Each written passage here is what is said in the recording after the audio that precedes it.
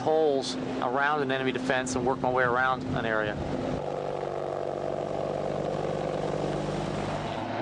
The 1991 Gulf War witnessed the development of new tactics for helicopter warfare.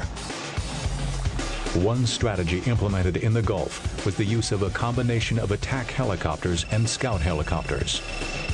The smaller scout helicopters formed the eyes and ears of the team. The Apache, the muscle.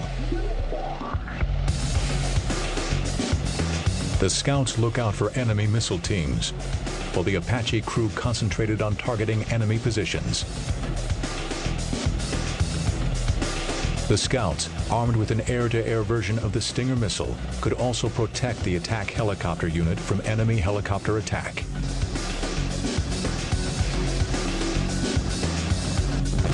Apaches proved their value in several key Gulf battles, demonstrating the impact that a small force of helicopters could have in land war missile copters preceding the main tank attacks were able to break up Iraqi formations. Under a ceaseless barrage of deadly Hellfire missiles, the Iraqi armor units disintegrated. In 2002, Apaches were an essential element in helping to rid Afghanistan of al-Qaeda and Taliban forces.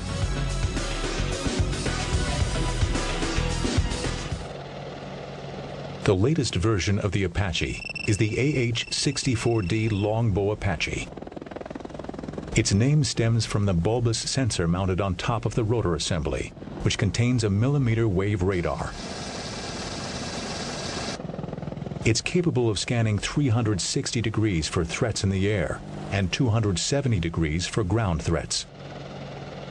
Costing over $3 million, only one in three Longbow Apaches need to carry the expensive dome, as the information from the sensors is shared among the battalion.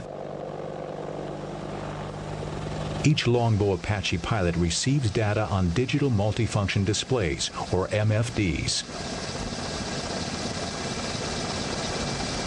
This radar expands the all-weather capabilities of Apache, even beyond FLIR sensors.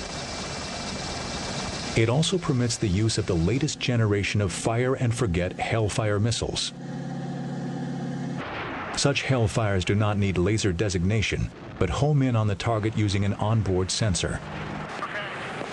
This combination of advanced technology and novel tactics has made the Apache attack helicopter one of the most potent weapons in modern land warfare. The Longbow flew its first mission in Operation Iraqi Freedom in early 2003 and has since logged thousands of combat hours in support of Allied troops.